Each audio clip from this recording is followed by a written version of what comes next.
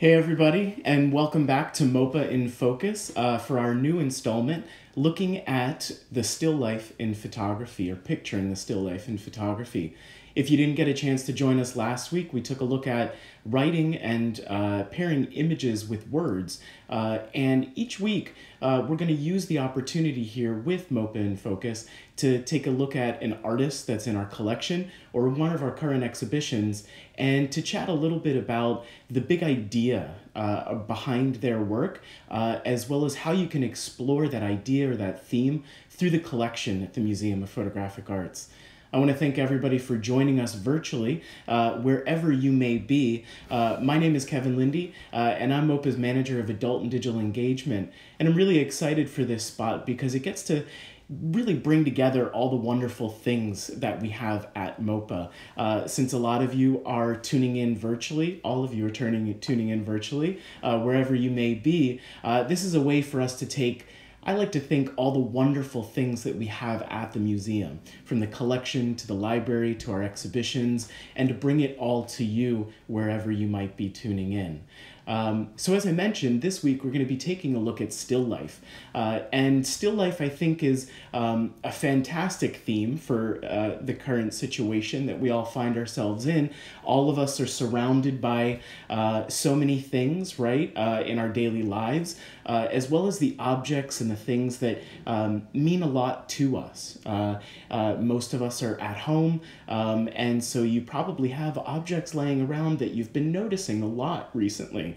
Um, and so I think for today, a great way for us to um, sort of take a look at that broad idea of still life in photography, we're going to sort of take a step back in time. Uh, we're going to go back to some of the earliest photographs uh, that we're lucky to have as part of the permanent collection at the Museum of Photographic Arts. And we're going to walk through photographic history and really take a look at different ways still life has been approached uh, through through photography. Um, and so for our first image, I'm going to go ahead and pull this up here.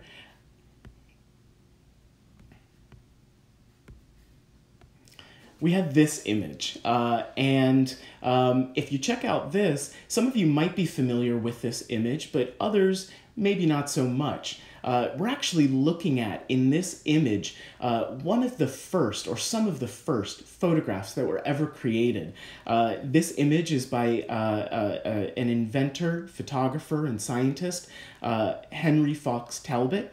and he was an Englishman who was really sort of playing around at the very beginning of photography, playing around with light sensitive chemistry, with optics, and really his goal was um, how do we create or how do we make a photograph that's permanent? Uh, he wasn't necessarily the first to make a permanent photograph um, but what he did was um, is he essentially pioneered a process that later allowed us uh, to have things like the negative um, or to make copies or to make prints of a photograph. Uh, so this image right here, again, keeping on that theme of still life, um, we have uh, what looks like just a series of shelves uh, with uh, all sorts of objects on it. Um, he called these objects china, right? So they're porcelain, uh, some of them are bowls, some of them are vases. Um, and I think what's really interesting is that um, he sort of is sending us a little bit of inspiration through time. Uh, this photograph was taken in 1844 in England, um, and for some of the logistics behind it, um, if any of you have tried to take a still life photograph before, you know it's all about framing and composition and getting your lighting sort of tuned in and dialed in. Um, Interestingly enough, this photograph had to be taken outside because uh, photography at that point was still very slow, very time intensive. Um, exposure times were very slow. Um, and so he actually constructed these shelves outside in broad daylight um, and had a backdrop um, and arranged these objects on the shelf in order to make this photograph. Uh, and the photograph probably took still quite a bit of time to develop. Um, this was an in-camera paper process. So in other words, the negative itself in the camera uh, was made of paper uh, and it was a very early kind of photographic process. Um, but he needed that broad daylight, that broad, uh, bright sunlight, uh, in order to go ahead and actually be able to take this photograph. Um, and I want to share with all of you a quote by him, which really sort of, I think, speaks through the ages, especially to the time that we're in right now. Um, and so he wrote about this series uh, that the whole cabinet of a virtuoso might be photographed. The more strange and fantastic the forms, the more advantage in having their pictures given instead of their descriptions.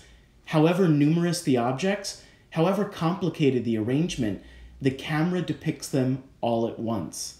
Um, and I think for a little bit of context, what he was really sort of getting at is that up until this point, prior to photography, Still life was a theme in the visual arts, um, but of course we were most familiar with painting. Um, and so, of course, a painter time intensively would go about rendering, right, interpreting what they were seeing um, in order to um, uh, either paint it or draw it.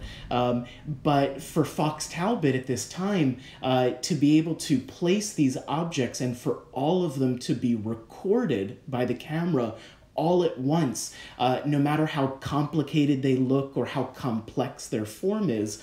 Um, that was a wholly new thing, right? That was an exciting thing for everyone, uh, and certainly for Fox Talbot.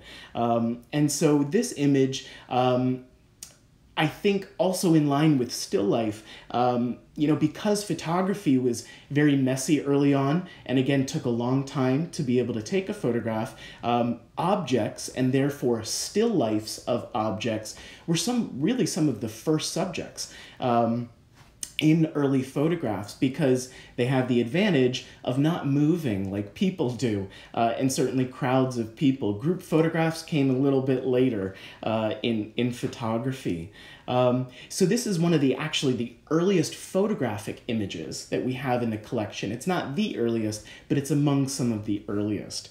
Um, and that's really what I love about the collection at the Museum of Photographic Arts is it provides us all an opportunity to really look back in time, look at what other, artists have sort of used and explored um, through photography, and then for all of us to get a little bit of inspiration around it as well. Uh, another image too that we have in the collection if we sort of move forward in time a little bit um, and is this image by uh, the photographer Karl Blossfeldt. Karl Blossfeldt was a scientist and photographer, a German living in Berlin in the early 1900s. Um, and while this might not be the typical still life, still life is such a broad category, right? Um, you know, there's there's there's lots of different ways that you can approach a still life. Um, and that's what i why i love looking at the collection because we kind of see all the different shades and hues of what we can consider a still life uh, in photography. And so this image karl blossfeldt was looking at this um, looking at specimens botanical specimens in particular as a botanist, he was really interested in that, um, and how the camera can capture details that were often difficult for uh, to to render. Right? Um, we could clearly draw something, but to draw something is to interpret it, um, and while photography can interpret things as well, we all know that there's whatever's in front of the camera, and then there's the decisions that we're making as the photographers. Um, Karl Blossfeldt loved the level of detail and the level of rendering that you could get from photographing sometimes these really, really tiny specimens um, in, in botany uh, and in nature. Uh, and so he created a series of photographs that um, really show us the beautiful, sort of intricate details of some of these specimens. And then, of course, we're really familiar with sometimes more, uh, more common or sort of everyday examples of still life. Uh, and I love this image. Uh, this image is by the photographer, the New York photographer Harold Feinstein. Uh, and Harold Feinstein uh, lived in the Northeast in the United States uh, during the 20th century. Um, and he uh, created a lot of different kinds of work, but uh, his his style was early on, specifically um, street photography, right? Uh, these beautiful everyday scenes of what life was like in the city uh, and how he was seeing it in some of the uh, some of the neighborhoods and the communities that he lived in. Um, and this image um, I love because I think it's a really approachable uh, example of what a still life can be. Um, we can see it's a bowl of fruit, uh, a bowl of apples in particular. We have three apples there sitting on this windowsill um, and because it's an interior scene looking out the window, we have this wonderful filtered light coming in through the window. And then, of course, we have that textural detail too of the lace curtains on either side. Um, but you can see that a still life can be something as simple as uh, perhaps it's uh, an everyday scene that you have in your environment around you, right? Uh, as a lot of us are uh, distancing ourselves quite a bit recently um, and spending more time at home. Um, I think this image, even though it was taken over 60 years ago, 70 years ago, uh, can really provide all of us some inspiration for how we can approach still life literally from the comfort of home. Um, I also love this example too because a lot of times if we're thinking about a still life we think that we have to have some sort of complicated lighting setup or we have to have studio lighting uh, or we have to have the latest and greatest camera. Um, but photographers have shown us that that's not the case necessarily. Um, we can use something as simple as natural light and something as simple as objects that we have laying around the house. Um, and it's our approach, right? It's the composition, it's the time of day, which informs the quality of light, um, and all of these different things can come together to actually create a really beautiful still life, a really, really beautiful scene. And so, still lifes can be um, an opportunity to uh, convey something about ordinary, everyday objects. Uh, as we saw with Fox Talbot, they can be to sort of record things that are maybe difficult to draw or interpret. Um, or as Blossfeldt, maybe sometimes these fine and minute details of the natural world around us, right? Uh, we've probably all taken photographs uh, of things where we're just astounded by the details that we notice in the photograph that we perhaps didn't notice um, just by looking at the object. The camera has a wonderful way of doing that. Um, but other photographers have approached it, um, the idea of a still life a little bit differently. Um, they, they use it as an opportunity for us to meditate on the objects, on their meaning, or they construct a meaning for us um, for us to to to meditate on right? To think about. Um, and this work is a beautiful series by the artist named joan myers. Uh, and joan myers uh, created these beautiful platinum prints um, of objects that she found and encountered uh, in Manzanar. And now Manzanar uh, is a site in California uh, where Japanese Americans were uh, interned in World War II.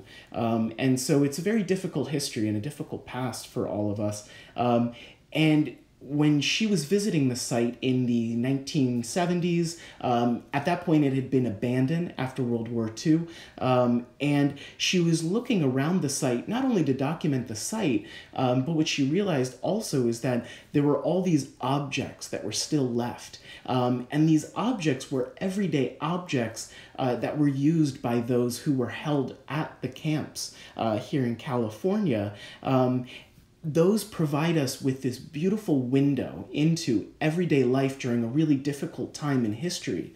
Um, and they really show us uh, also the passage of time as well. Um, we can see in this image there's a broken piece of china, of, of, of, of porcelain, uh, and then we also have this spoon, and the spoon is rusted and, and weathered with time. Um, and um, she used this as a way of sort of, uh, if you could say, a visual archaeology, um, as a way to uh, explore uh, what was left of, of everyone's experience there, um, especially when those experiences were often very painful um, for many of those who were who were in those camps. Um, so you can see a still life can actually have us think or uh, transport us back to a time uh, and think about what an everyday experience would have been like for those who were there.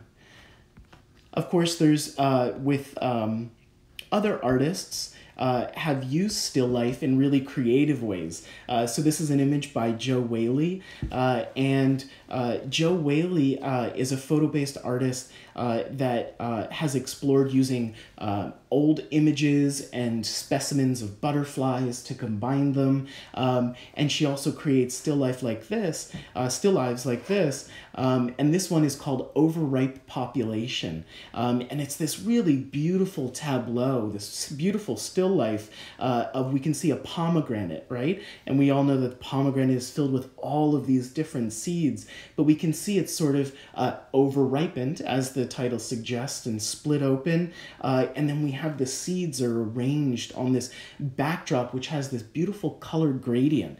Uh, and the color gradient kind of provides this wonderful contrast, right? Uh, with uh, with the, the red of the pomegranate and the green of the uh, of the leaves and the stem. Um, and so um, in this one, you can see that the still life can be approached just on a flat surface, right? Um, and and using again everyday objects. Um, but it's in it's how uh, jo whaley went about arranging those objects right? Um, by splitting the pomegranate open by arranging the seeds in really interesting ways um, to create this sort of textural backdrop right? This textural pattern. Um, we can see that still lives can be approached in lots of different ways and the title, right, of, of, of Jo Whaley's piece, Overripe Populations, Overripe Population, um, again, is um, kind of has us think about, well, what exactly is she maybe speaking to uh, in this still life, right? Um, what is the what is the meaning of it? Um, and the thing that I really love about uh, this opportunity with you all today is that we can take a look at this broad idea, this broad theme in photography, uh, how different artists have explored it, but also we can come all the way up through contemporary artists who are living and working today and how they're continuing to sort of push at the edges, right, of what we might con- consider a still life uh, in photography. Um, and currently at the museum, even though we can't be there physically today, um, I wanted to share with you all a photographer that we have uh, in, uh, in uh, our current exhibition, um, Out of the Shadows, Contemporary Chinese Photography. Um, and the uh, name of the artist is Hong Lei, uh, and Hong Lei, as you can see, creates these beautiful still life images, um, which are uh, use these really intricate objects. Um, and from afar, what's really interesting is that they look picture perfect. They look like these beautiful, uh, beautifully composed arrangements of typically natural objects. Um, However, when you look closer at the objects uh, and at the still life itself, uh, you can see that there's something a little bit different about them. Uh, so I'm going to go ahead and actually full screen this for everyone here. And you can see how we actually see the objects are suspended by wires, right? Um, so the artist is making sure that they're calling out the artificiality, right, of a still life because we often want to make a still life to mimic nature, but still lives are created by us, right? and so uh, we can see that the things are suspended. Um, there's even some really sort of uh, interesting. Um, interesting sort of specimens in there. We have flies buzzing around these pomegranates. Uh, we have the branches broken. In this image, uh, we have a snake. Uh, and in this one, right, a field of butterflies as well as a snake. Um, but uh, again, there's something that's sort of a bit different, a bit off about the images. Um, and I think that's really interesting because uh, Hong Lei essentially is making this comment uh, on still lifes and on the tradition of still life, specifically with reference to the artistic tradition that the artist uh, grew up within, right? In the Eastern tradition, in China, uh, in other parts of East Asia, there was this refinement of how do you capture the beauty of nature in a quintessential and perfect way. Um, but we all know that um, sometimes it's really difficult. You can't recreate something uh, perfectly. And so for him, he's kind of using this idea to sort of poke at that idea. Um, he's using these objects to say, I'm creating this thing that looks perfect, perhaps a bit from afar, but the closer you get to it, you see some imperfections, or you see some objects or items that kind of are in conversation with each other, right? Like the butterflies and the snake, or the branch that has a bit of dripping, uh, dripping blood on it. Um, so there are these really sort of interesting aspects to it uh, that he tries to incorporate. Um, if anybody has any questions, we would love to hear your thoughts, anything you might be curious about. Uh, maybe it's something that's in the collection at the museum, uh, or uh, maybe it's something that you saw today. So make sure to use the comments there uh, to go ahead and shoot us over a question that you have. Um, and uh, because we're all uh, currently not at the museum, I want to encourage everybody to head on over to mopa.org um, because if you like today's program uh, and if you love photography, we would love for you to check out our educational section on the museum's website. So if you go to mopa.org forward slash educate, you'll see more resources about still life, uh, but you'll also see other uh, other content that's exploring all of these big ideas in photography. Uh, and of course, we couldn't bring all of this to you uh, without your support. Uh, so if you like today's program and you want to support continuing to bring you some really cool content, exploring the collections and the exhibitions at the museum, make sure you go to mopa.org forward slash support uh, and anything that you can contribute helps us keep bringing you this awesome content. So I hope you all are going to join us next week uh, for another MOPA in Focus, where again we'll be sort of exploring this big, broad idea in photography through the collection and the current exhibitions at the museum. I wish everyone well, to stay safe, uh, and to try any of these ideas that you see uh, in the comfort of your own home, and make sure you share them with us online. Uh, thanks everybody for joining today, and we'll see you next week.